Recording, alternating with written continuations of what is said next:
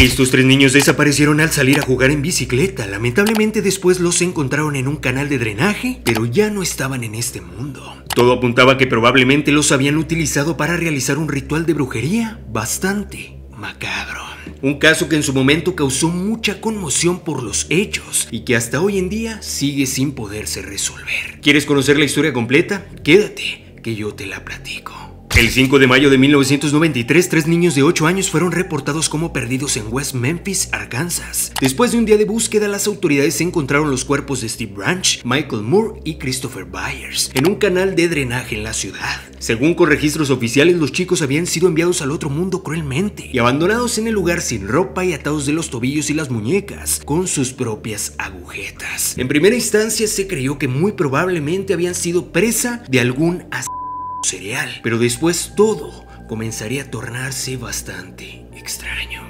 Los registros forenses señalaron que Chris se fue de este mundo de múltiples heridas. De hecho, su cuerpo presentó graves laceraciones y su miembro fue removido. El final de los otros dos chicos, Steve y Michael, aparentemente fue provocado por lesiones, además de que habrían intentado dejarlos sin aire. El análisis médico no encontró evidencias de ello, lo que hizo que la investigación cambiara, y ahora pensaban que probablemente habían sido parte de algún rito sin ninguna prueba, la policía culpó rápidamente a un chico llamado Damien Eccles, a su amigo Jason Baldwin y a otro chico llamado Jesse Miskeley Jr. Los tres fueron abordados por su presunta participación en un culto que los orillaba a utilizar chicos para ofrecerlos a Satán. Los tres negaron las acusaciones en un principio. Desafortunadamente, sus extrañas respuestas en los interrogatorios abrieron la puerta a que fueran arrestados y llevados a juicio. Pero, en realidad, ellos habían sido los culpables. A principios de 1994, Demian Eccles y el resto de los acusados, conocidos mediáticamente como los tres de West Memphis, fueron llevados ante la Suprema Corte de Arkansas. En un juicio compartido con Baldwin, Demian fue señalado como el autor principal de lo ocurrido con los tres pequeños. En documentos presentados ante la corte, las autoridades aseguraron que Damian había abordado datos confidenciales sobre el caso durante uno de sus primeros interrogatorios. También se presentó el testimonio de Vicky Hutchinson, quien aseguró haber escuchado a Demian Eccles confesar el horror en una reunión de la religión pagana Wicca, semanas después de haber cometido el horror. Aunque los chicos negaron formar parte de un culto y defendieron su inocencia, el jurado deliberó en su contra. El 19 de marzo de 1994, Damien Eccles y Jason Baldwin fueron encontrados culpables. Baldwin fue condenado a cadena perpetua y Eccles a la pena sin embargo, a pesar de que habían sido tomados como los culpables, no tenían ninguna sola prueba, ninguna sola evidencia contundente de que en verdad ellos habían sido los autores de este macabro caso. Sin embargo, los enjuiciaron y los condenaron de esta forma. Por ello, el caso no terminó con la condena de los tres presuntos implicados. Desde que se dictó sentencia a Eccles, Baldwin y Miskeley Jr., sus defensas intentaron replantear el juicio señalando los errores que había cometido el departamento de policía de Memphis durante la investigación. Por desgracia, las cosas se movieron con lentitud a partir de este punto. Durante las décadas siguientes, el caso sufrió varios vuelcos. El primero fue la aparente participación de John Mark Byers, el padrastro de uno de los niños, que cayó en contradicciones sobre su compartimiento con Christopher, además de la posesión de un artefacto filoso con líquido rojo de su hijastro, el cual había intentado regalar a uno de los camarógrafos involucrados en un documental de HBO sobre el caso. Sí, todo estaba comenzando a tornarse bastante extraño, y la culpabilidad que comenzaron a confirmar sobre los chicos estos, Eccles Baldwin y Miss Kelly Jr., comenzaba a tomar otro tono completamente distinto.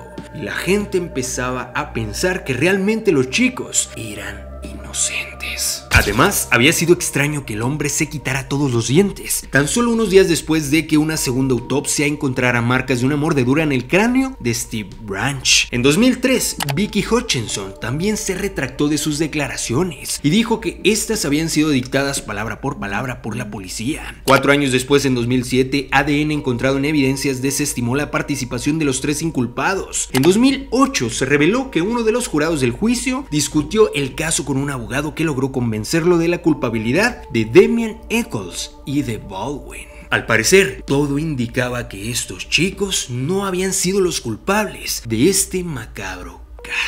La llegada de un nuevo juez de apelaciones permitió que las sentencias de los tres de West Memphis pudieran ser revaluadas. Con toda la información a su favor, Eccles, Baldwin y Miss Kelly Jr. negociaron su libertad. Algunos de los padres de los pequeños incluso los apoyaron en su lucha judicial. El 19 de agosto del 2011, el trío fue liberado de sus penas. Semanas después, el gobernador Mike Vive les ofreció un perdón absoluto. Mientras esperaba la inyección letal, Demian Eccles conoció a su esposa Lori Davis, la mujer que conoció a Eccles después de escuchar sobre su caso en el documental Paradise Lost. La mujer que conoció a Eccles después de escuchar sobre su caso en el documental Paradise Lost jugó un papel importante en su liberación. También en la cárcel, Demian Eccles inició una carrera como escritor publicando su autobiografía llamada Almost solo unos días antes de pasar por el paredón de su final. Afortunadamente se pudo constatar que ellos no eran los culpables y Demian Eccles hasta hoy en día